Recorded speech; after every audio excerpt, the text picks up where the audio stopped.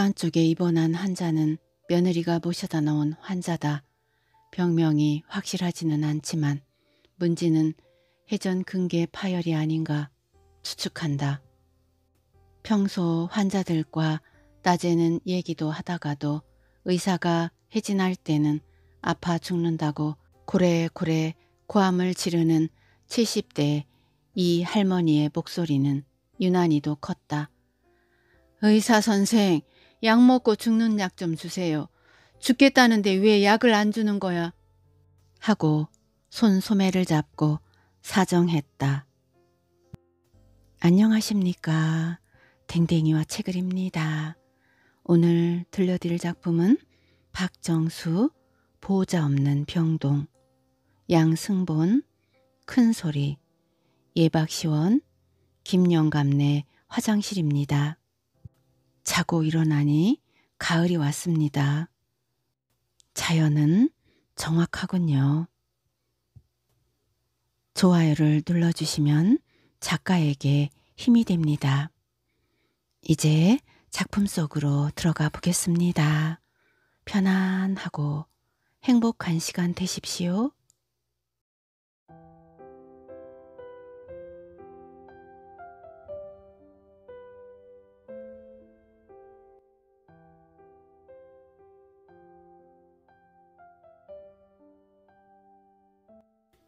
보호자 없는 병동 박정수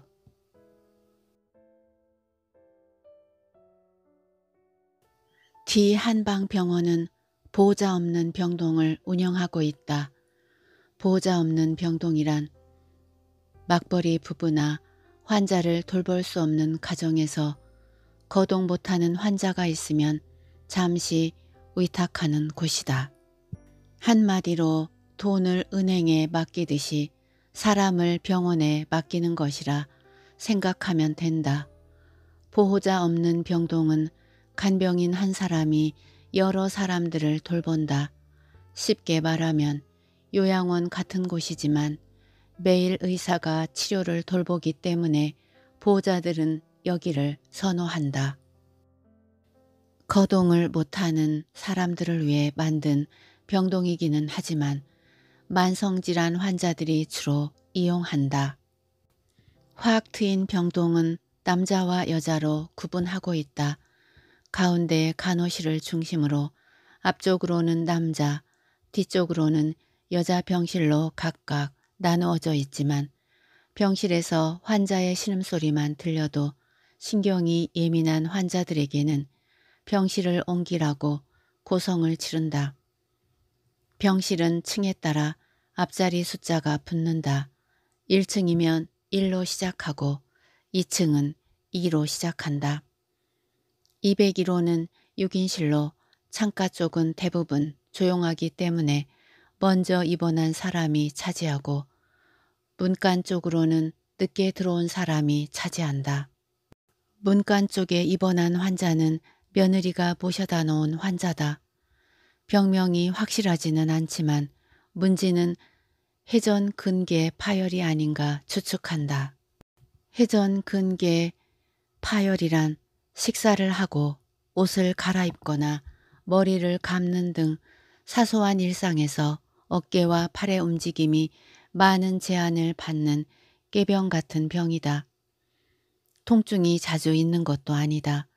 평소 환자들과 낮에는 얘기도 하다가도 의사가 해진할 때는 아파 죽는다고 고래고래 고함을 지르는 환자가 있었다. 70대 할머니의 목소리는 유난히도 컸다. 의사 선생, 약 먹고 죽는 약 좀 주세요. 죽겠다는데 왜 약을 안 주는 거야? 하고 큰 소매를 잡고 사정을 하기도 했다. 뒤 한방병원은 전문의를 배출하는 교육병원이다. 그래서 인턴 1년을 거쳐 3년간 레지던트로 생활해야 하는데 인턴이 주로 병실의 환자 관리를 하고 있다. 한의과 대학을 금방 졸업하고 전문의 과정을 거치려면 필수적으로 이 코스를 밟아야 하며 4년 동안 환자들과 씨름을 해야 한다. 10여 년 전만 하더라도 여의사보다 남의사가 많았지만 요즘은 남의사는 거의 없고 여의사가 80%를 차지한다. 대학을 졸업한 후 처음 병실을 해진하는 여의사를 붙들고 먹고 죽는 약을 달라고 매달리는 환자를 보고 눈물을 흘렸다. 얼마나 아팠으면 먹고 죽는 약이 없겠느냐. 고 환자의 아픔을 함께 나누려고 애를 썼다. 그 이튿날 환자의 보호자가 병원을 찾아왔기에 의사가 사정 이야기를 했던 모양이다. 보호자는 그냥 웃기만 하다가 집에서도 똑같은 말을 해서 병원으로 모시고 왔다는 얘기를 했다. 여 의사는 환자를 어떻게 하면 될까 고민을 하다가 결국 의국장을 거쳐 이사장에게 보고를 하게 되었다. 이사장은 한방병원협회 회장도 10여 년 한 경험도 있거니와 50여 년 환자와 함께 살아온 노련한 의사다. 이사장은 여의사의 보고를 받고 웃기만 했다.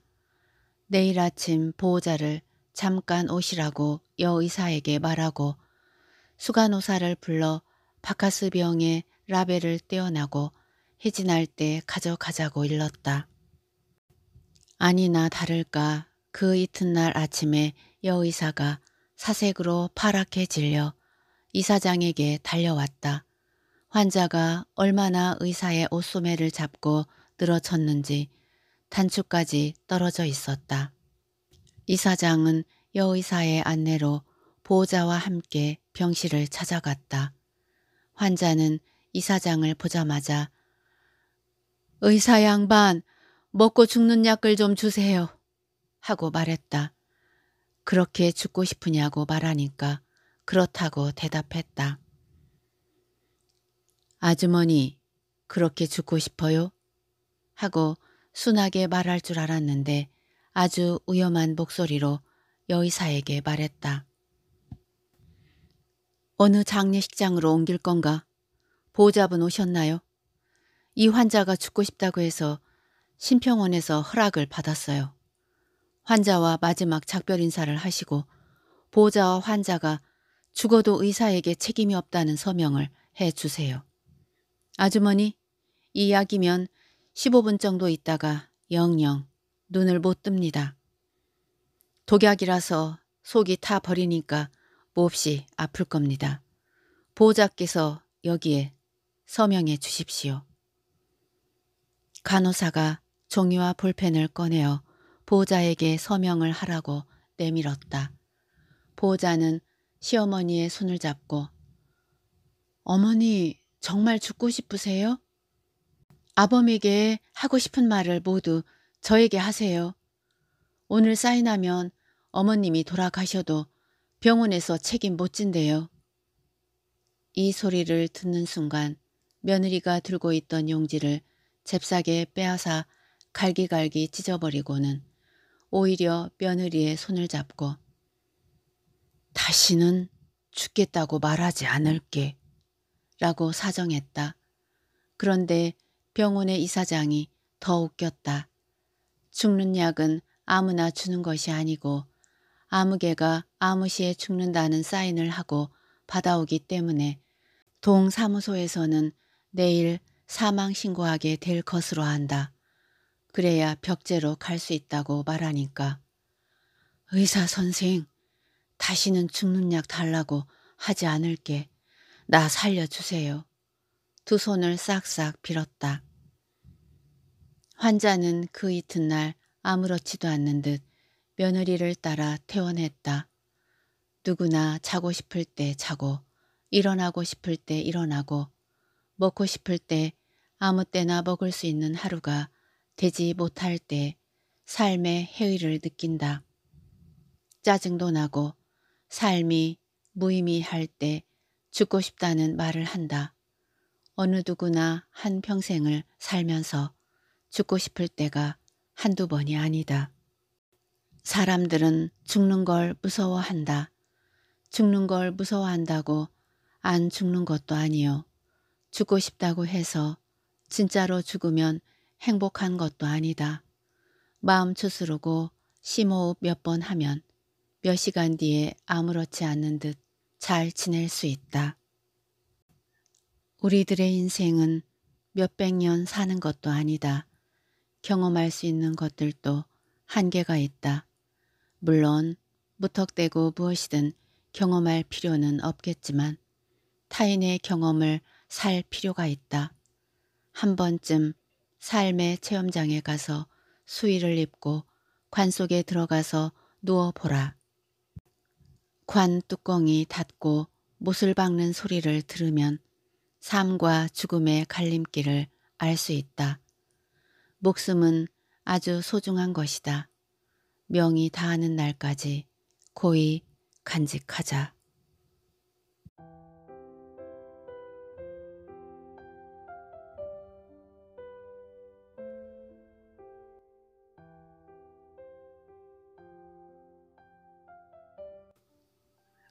소리 양승본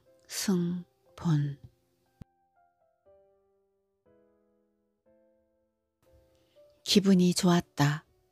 하늘을 나를 것 같은 심정이었다.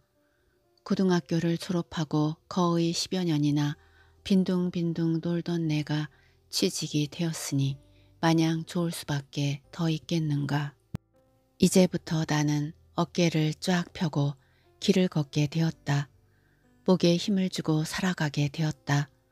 시골에서 농사 짓는 고향 친구들마저 상대해 주지 않았던 내 처량한 꼴이 끝나게 되었다.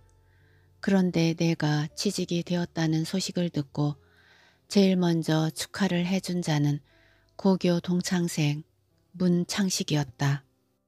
사실 그동안 나는 무척 창식이에게 굽실대고 지내왔다.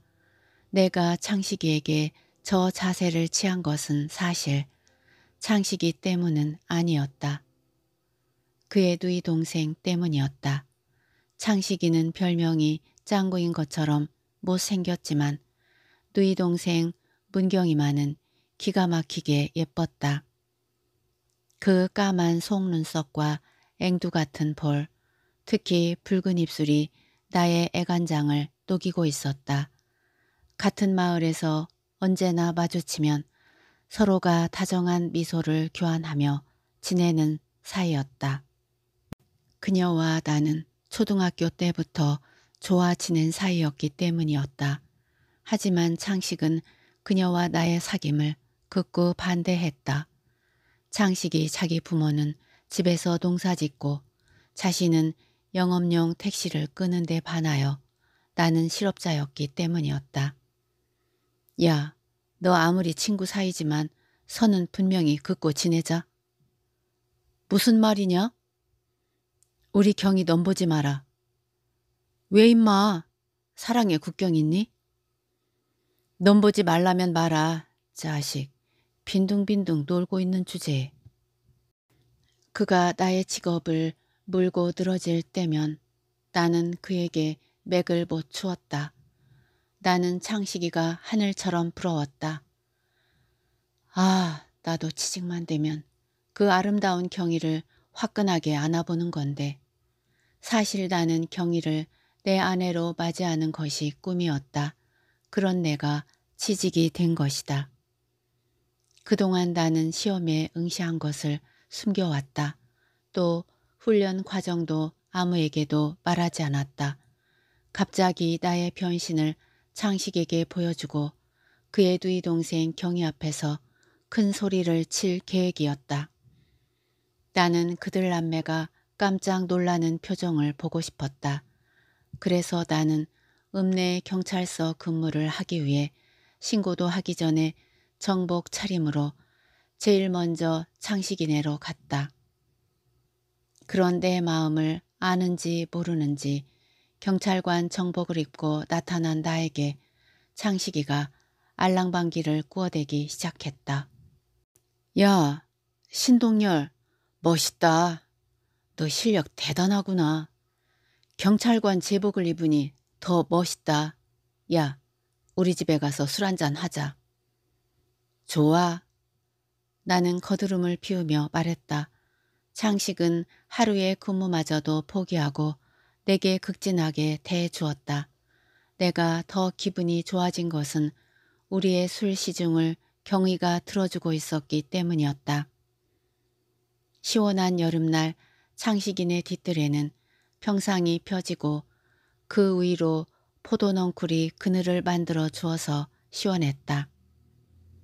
막걸리가 목을 넘어가는 양만큼 나의 기분은 점점 들먹거리기 시작했다. 동열아, 넌 경찰관이 됐으니 나 좀 잘 받아오. 나는 술 시중을 드는 경의의 앞가슴을 훔쳐보면서 큰 소리를 쳤다. 걱정 마. 너와 나는 어차피 천안매 부관이 될 텐데 내가 널 안 봐주면 누가 봐주냐? 경희의 얼굴이 빨개졌다. 그때였다. 창식인의 뒤뜰로 이어지는 텃밭의 논두렁에서 소를 몰고 가던 사내가 고삐를 잘못 잡아 오이넝쿨을 먹게 했다. 순간 나는 경찰관의 위력을 보여줄 기회임을 포착했다. 창식이와 경의 앞에서 나의 실력을 자랑하고 싶었다. 셋불은 단숨에 빼야 된다는 말과 같이 나는 이제 취직이 되었으니 경의를 완전하게 내 아내로 만들어야 했다. 그래서 나는 그 사내를 향해 큰 소리를 쳤다. 여보시오. 남의 오이렁쿨을 소 먹이로 아는 거요? 아, 죄송합니다. 여보시오. 잘못해놓고 죄송하다고 하면 다요? 그가 더욱 굽실대며 계속 용서를 빌었다. 사실 따지고 보면 아무것도 아닌 일인데 나는 그 기회에 철저하게 나의 경찰관의 자리를 뽐내고 싶었다. 경희는 그만하라는 눈치였지만 창식이는 신이 나 있었다.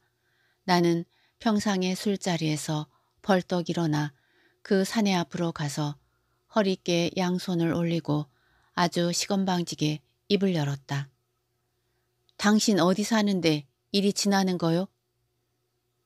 순간 계속 굽실대던 나의 끝발을 올려줄 줄 알았던 그 사내가 신경질을 부리며 입을 열었다.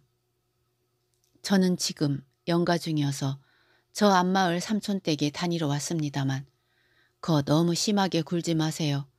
이까지 노인 엉클 배상하면 되지 않소? 아니, 이 자식이? 아니, 이 자식이라니. 내가 당신 자식이란 말이요?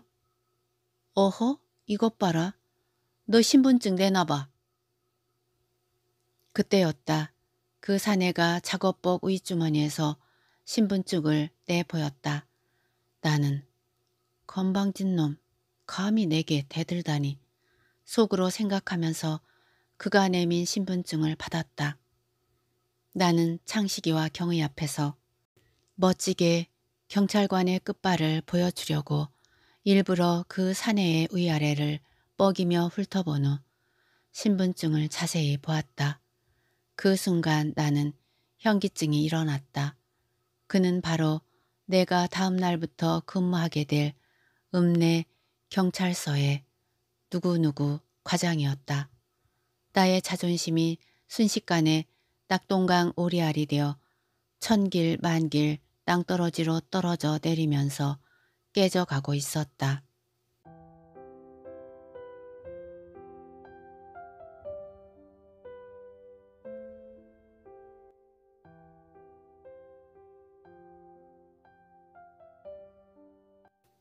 김영감네 화장실 예박 시원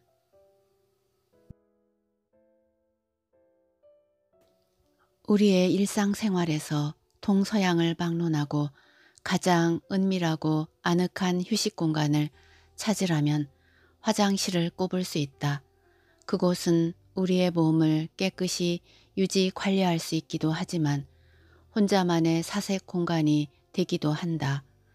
김영감이 하루 일과 중 화장실 사용 빈도가 높은 시간대는 주로 아침이다.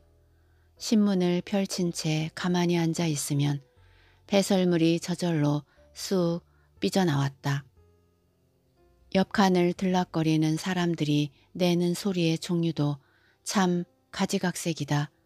저마다 방귀 소리도 특이하고 몸부림을 치며 내 지르는 소리도 여러 가지다. 우선 양변기에 앉으면 방귀 소리가 대포처럼 뿡 하고 우렁찬 사람도 있고 그 소리의 주인공은 통닭집 배씨였다. 그런가 하면 부르륵 하는 오토바이 엔진 소리도 있고 쭈르륵 쭉 하는 배탈이 난 것 같은 소리도 있다.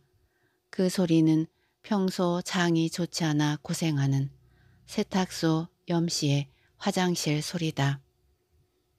장이 튼튼한 김영감은 괄약근을 힘들여 조절하지 않아도 아주 부드럽게 볼일을 본다. 하지만 조금이라도 변비가 있는 사람은 고통스러운 신음소리를 낸다. 허, 허, 끙. 슈퍼주인 장씨의 소리다. 김영감은 우연히 귀에 들리는 소리였지만 참으로 안타깝고 자기가 괜히 답답해짐을 느꼈다. 욕본다. 쯧쯧쯧. 김영감은 아침에 볼일을 보다가 화장실이라는 화두가 떠올랐다. 아련한 어린 시절 기억부터 더듬어 보았다. 지금부터 30여 년 전에는 도시와 농촌 할 것 없이 대부분의 화장실이 재래식이었다. 나무로 얼기설기 만든 것과 시멘트로 만든 차이일 뿐 쪼그려 앉아서 일을 보는 행태는 똑같았다. 도시에서는 주기적으로 마을을 돌며 돈을 받고 똥을 퍼는 위생차가 있었고 농촌에서는 군용 철모 내피에 긴 작대기를 묶어 똥장군이라 불리는 통에 퍼 담았던 기억이 난다. 그것을 지게에다 얹어서 밭에다 뿌리면 아주 훌륭한 거름이 되었다. 사람에게서 나오는 인부는 그 성분이 매우 독해서 작물을 잘 구분해서 뿌려야 했다. 그렇지 않으면 나중에 잎사귀들이 다 녹거나 말라서 낭패를 볼 때가 있다. 그래서 옛말에 사람 똥은 개도 안 먹는다는 말이 나온 듯 싶다. 화장실에서 나온 김영감은 슈퍼마켓 앞을 지나다가 장가를 보고 눈짓했다. 우리 사무실에 놀러 오이라 차 한잔 하구로. 알았구매. 김영감은 아침부터 장씨를 앉혀놓고 똥 이야기에 열을 올렸다. 똥에 관한 에피소드는 참 많다. 예전에 시골에는 걸음이 기해서 반 옆에 구덩이를 파서 똥을 저장해 놓은 곳이 많았다. 오래되면 그 표면이 굳어서 자세히 보지 않으면 흙인지 똥인지 구분이 잘 되지 않는다. 멋모르고 발을 짚었다가 욕을 보는 경우도 종종 있었다. 똥탕에 빠지면 오래 살라는 의미로 떡을 해서 이웃과 나눠 먹던 기억도 있다. 행님, 옛날이나 지금이나 변하지 않는 것이 있다 아이요.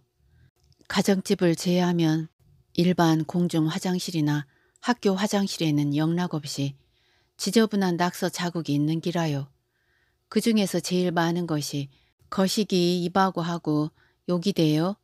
간혹 남자나 여자의 신체를 그려놓은 것을 보면 한심하기도 하지만 우리가 어렸을 때나 지금이나 변한 게 없구나 생각하면 씁쓸한 웃음이 나오대요. 장 씨는 아침부터 똥 이야기에 열을 올리는 김영광과 장단을 맞춰 화장실 이야기에 재미를 붙였다. 어이 봐라 장가야. 얼마 전에 내가 텔레비전에서 베트남의 어느 마을에 있는 공중 화장실을 보고 놀래 자빠진 적이 있다 아이가. 길가 양쪽으로 길게 파놓은 구덩이에 온 동네 주민들이 어르나 할 것 없이 내레비로 엉덩이를 까고 백주 대낮에 노상에서 볼일을 보는 기라. 잠시 후에 누가 돼지 떼들을 몰고 오매 돼지들이 그 인분을 먹는 기라. 그걸 보고 예전에 한국에도 있었던 제주도 똥돼지 생각이 나대. 근데 벌건 대낮에 떼지어 갖고 궁뎅이를 드러내놓고 똥을 누는 짓은 참말로 얄궂대. 글마들 희한한 놈들인기라. 에이 더러운 놈들. 행님 화장실 이야기가 나왔으니까네. 내가 군대 시절 겪었던 일을 한 가지 이바구에 복기요. 대한민국 남자라 뭐 누구나 한번 갔다 와야 할 곳이 군대 아이교. 특히 전방부대에서 근무한 사람들은 내가 아는 이바구에 공감하는 게 많을 깁니다. 장씨 이야기에 따르면 군대 화장실에는 똥탑이라는 것이 있었다. 전방부대의 혹한기에는 보통 영하 25도를 오르내리는데 겨울 내내 화장실 오물을 퍼내지 못하고 꽁꽁 얼린 채 내버려 두게 된다. 서너 달 인분이 쌓이면 그 위에 배설을 하고 밤새 얼어붙으면 그 위에 또 볼일을 봐서 층을 이루게 된다. 그 탑처럼 차곡차곡 쌓인 것을 이른바 똥탑이라고 불렀다. 더 이상 볼일을 보지 못할 정도로 탑이 쌓이면 작대기를 하나 장만해 놓고 똥탑을 툭툭 쳐서 한 층을 제거한 후 거사를 치른다. 그런 수고도 하지 않은 채 볼일을 보려면 엉덩이에 차갑고 불쾌한 것이 와 닿는다. 아, 그때의 그 기분이란 으흐. 장 씨는 몸까지 부르르 떨면서 실감나게 이야기를 하는 것이었다. 오래전에 김 영감은 직장 산악회에서 단체로 경주 남산을 간 적이 있었다. 마침 경주가 고향인 동료의 집에서 아침 식사를 했었는데 그날 재수가 온 붙었는지 아주 큰 낭패를 겪게 되었다. 아침밥을 맛있게 잘 먹고 화장실에 쪼그려 앉아 느긋하게 담배를 한 대 불고 아랫배에 힘을 넣었다. 흐뭇한 웃음을 지으며 기분 좋게 일발 발사한 순간 앞불싸 철퍼덩 하는 소리와 동시에 오물이 튀어 엉덩이를 적시는 것이었다. 오메야 이런 낭패가 어디 있는가. 그곳은 의생차가 와서 변소를 비운 지 며칠 되지 않아 물탕이었던 것이다. 아 어째 이런 일이. 환장할 일이었다.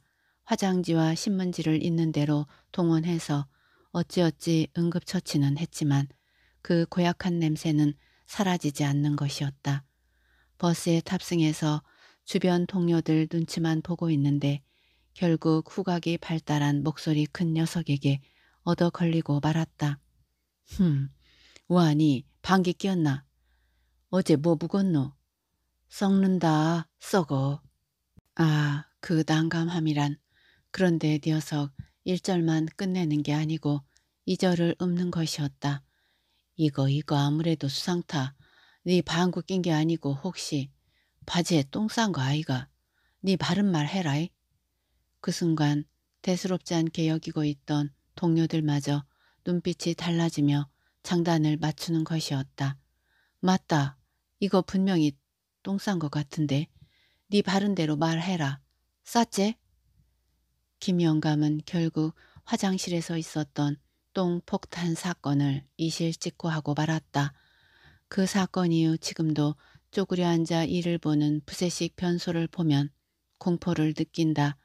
그때 향수라도 좀 있었으면 그런 수모는 면했을 텐데 하는 아쉬움이 많이 들었다. 향수를 떠올리니까 그 유래가 생각난다. 향수란 것을 아주 고상한 것으로 알고 있었는데 실은 지저분한 이유로 만들어졌다고 한다. 프랑스 루이 14세가 호화롭게 베르사유 궁전을 지었는데 그곳엔 화장실이 없었다고 한다. 그 많은 귀족들이 배설물을 처리할 때는 건물의 구석진 곳이나 정원의 풀숲 또는 나무 밑을 슬쩍 이용했다고 한다. 심지어 봉지 같은 데 볼일을 보고 창문 밖으로 던질 때도 많았다고 한다. 특히 그 시대 여성들의 치마가 통이 넓었던 이유도 아무 곳에서나 일을 치를 수 있도록 만들었기 때문이다. 프랑스에서 향수가 발달한 것도 실은 몸에서 나는 똥 냄새를 감추려고 향수를 많이 사용했기 때문이다. 결국 이를 보다 못한 궁전 관리인이 정원에 출입금지 표지판을 세웠는데 그것을 에티켓이라 불렀다. 아무튼 화장실 사용을 깨끗이 하고 뒤처리도 깔끔하게 해야만 문화인이 아니겠는가. 간혹 방거리에서 전봇대나 남의 차 옆에서 실례를 하는 몰상식한 이들을 보는데 여기에도 남녀 구분이 없다. 행님, 그 서양 놈들 참말로 더러운 놈들이네요. 망할 놈들. 예의가 없어, 예의가 아주 몰상식한 것들이지.